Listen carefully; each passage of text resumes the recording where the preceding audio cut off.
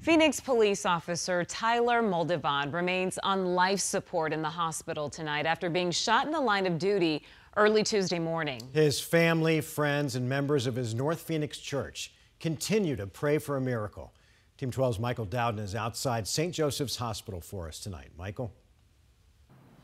Yeah, guys, family, friends told us the family is understandably having a hard time. This was looking like such a great year for Tyler. He got married, became a Phoenix officer, but now he's fighting for his life inside this hospital as a community is trying to rally behind him.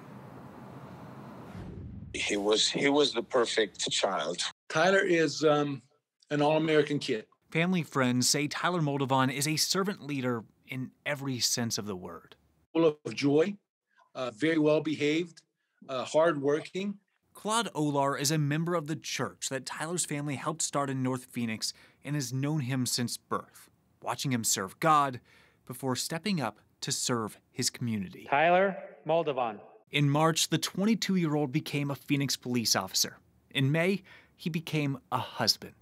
But on Tuesday, his life changed while checking out reports of cars driving erratically near 15th Avenue and Camelback.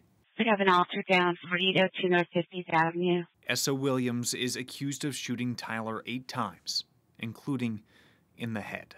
I saw him on, on Sunday night, and, and to hear about it on Tuesday morning, it was a total shock. A man with so much life in front of him is now in extremely critical condition. Like you, you think it's a dream that you just want to wake up and pretend like it never happened. On Friday, the Phoenix Law Enforcement Association will hold a fundraiser to support the family as a community gathers around a man who is willing to give it all for them. We're, we're grieving with you, and we're hoping with you, and we're praying with you, um, and we are here for you. I'm praying for a miracle. Now, if you would like to help out the family, PLEA is holding a fundraiser tomorrow at their headquarters off 11th Avenue in Adams, and all the proceeds from that event will be heading towards the family. We're live outside of St. Joseph Hospital Medical Center. Michael Doudna, 12 News.